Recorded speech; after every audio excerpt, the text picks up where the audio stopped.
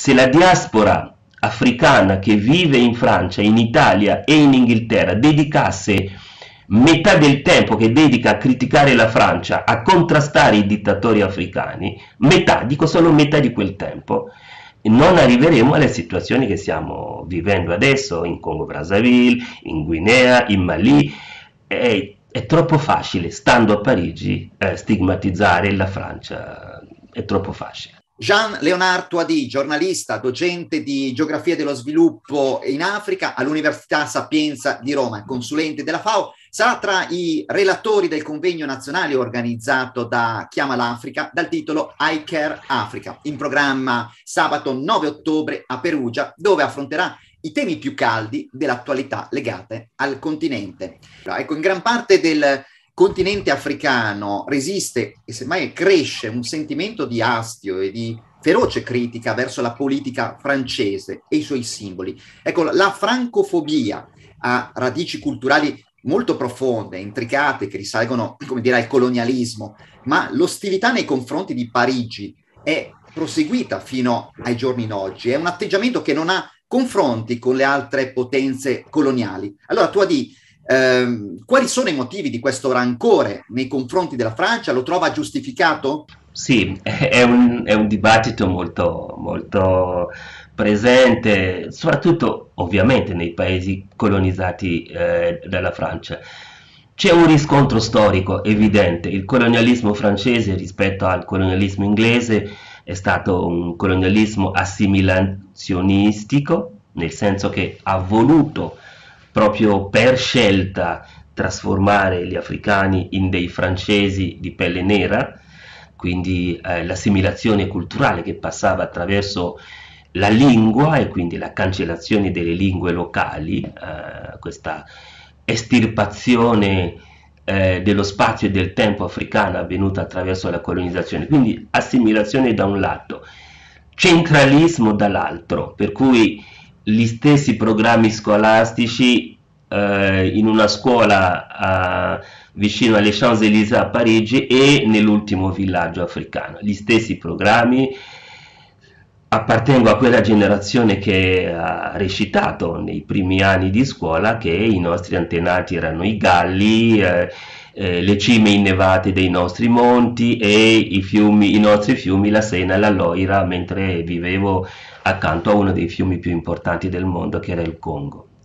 Quindi è un dato storico che prende tempo a essere metabolizzato. Io direi, per farla breve perché non abbiamo tempo, è un rapporto descritto magnificamente da Franz Fanon eh, in quel libro magnifico che è Pelle nera, maschere bianche.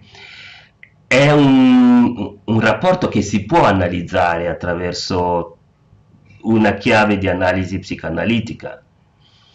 È, è, è il padre, è, la Francia è il padre che esercita una grande forza attrattiva, perché poi gli africani non lo, non lo ammettono, ma c'è una grossa attrazione eh, per la Francia, confessata o non confessata, non c'è uno che arriva a Roma che a un certo punto i miei cugini, i miei amici, je dois aller à Paris, no? c'è, una grande attrazione, ma nello stesso tempo è anche il padre coloniale che bisogna uccidere per crescere, no?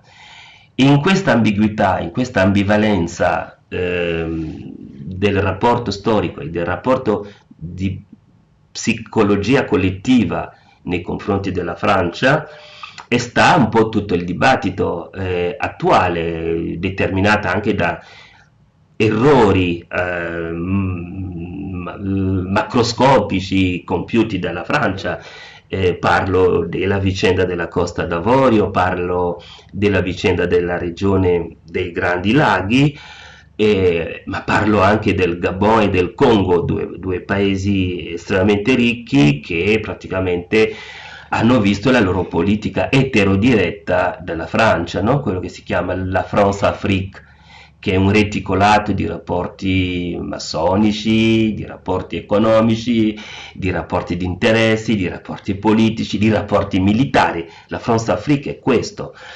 E la nuova generazione non si ritrova più in questo schema. E il franco CFA, quella moneta coloniale, poi diventata eh, franco CFA, è l'emblema di un cordone umbilicale mai completamente tagliato. Ma nello stesso tempo si può dire che tutti i mali degli africani vengono dalla Francia.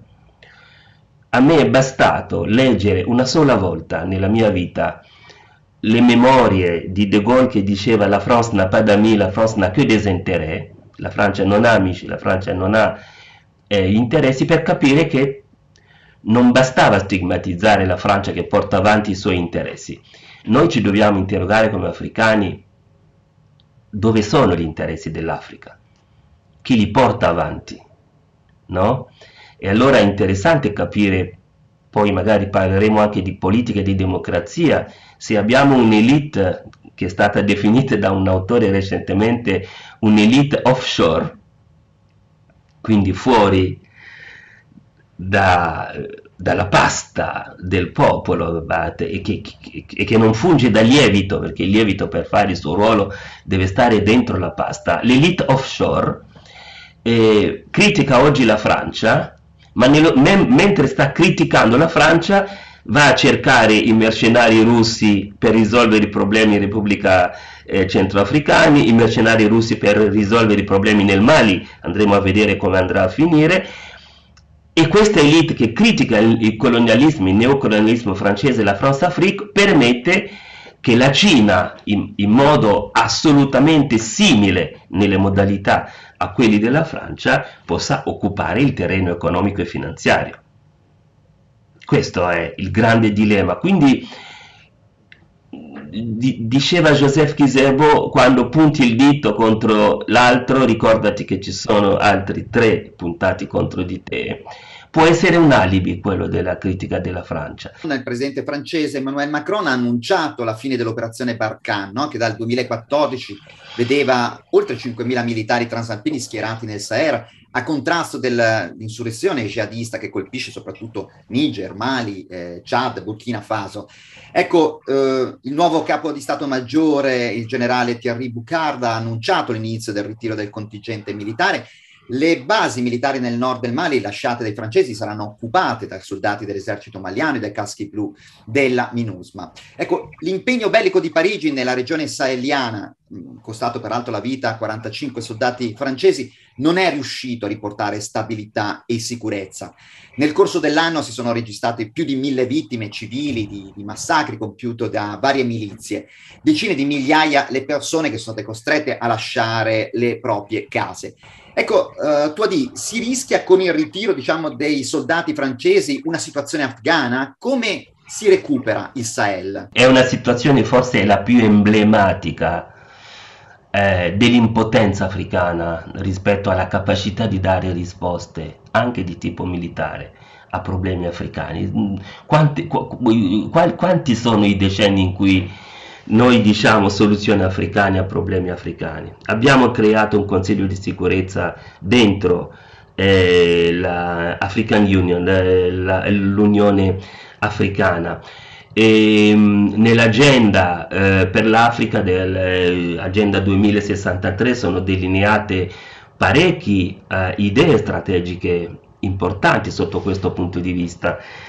E abbiamo iniziato una, una, riflessione a partire dal, dalla, dalla eh, genocidio ruandese che è stato per noi al di là delle discussioni su eh, questo conflitto, ma simbolicamente abbiamo toccato con mano, noi africani, come piano piano siamo passati dalla violenza del padre coloniale contro il figlio colonizzato alla violenza di Caino contro Abele, la violenza dell'africano contro, contro l'africano. E abbiamo capito in quei anni, eh, anche con Boutros Ghali che scrisse un libro che si chiama Agenda per la pace, che se l'Africa non si dotasse eh, di strumenti di prevenzione e anche di strumenti di peacekeeping e se c'è bisogno di peace enforcing, ma strumenti africani, eh, sarebbe difficile poi parlare di stabilità politica e di sviluppo economico.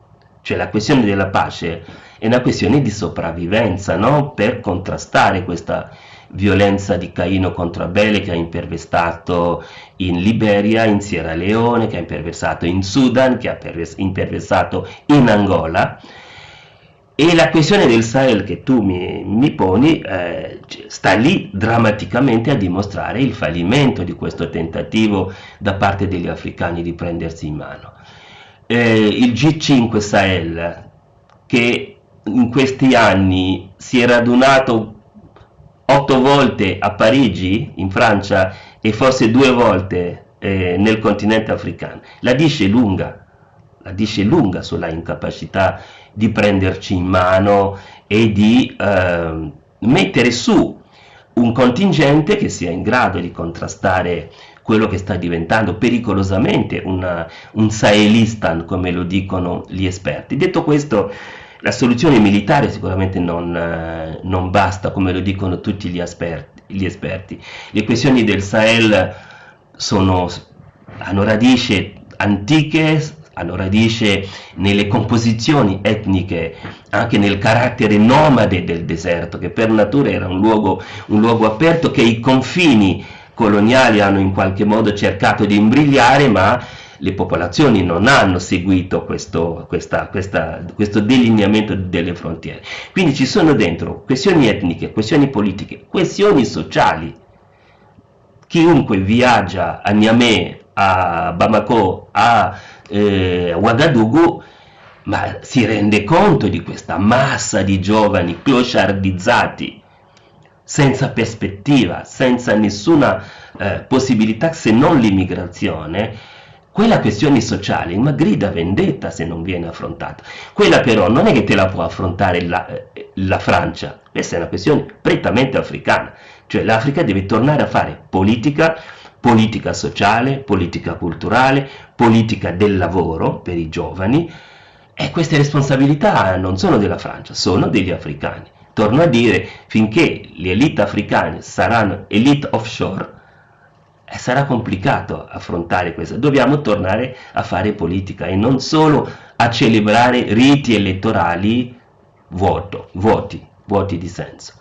E noi ringraziamo Gian Leonardo Adì, che ricordo è giornalista, docente di geografia dello sviluppo in Africa all'Università Sapienza di Roma, è consulente della FAO e sarà eh, tra i relatori del convegno nazionale organizzato da Chiama l'Africa dal titolo I Care Africa in programma sabato 9 ottobre a Perugia, dove continuerà a discutere, continuerà a confrontarsi, continuerà a sviluppare i temi che avete sentito in questa lunga e stimolante chiacchierata che ha voluto condividere con noi. Grazie Marco e grazie alla rivista Africa.